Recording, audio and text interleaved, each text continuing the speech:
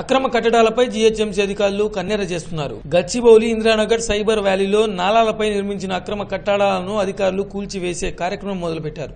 GHMC Serilingampally circle ఇరవై అధికారులు సిబ్బంది మూకమ్ముడిగా రంగంలో దిగి అక్రమ కట్టడాలను కూల్చేశారు.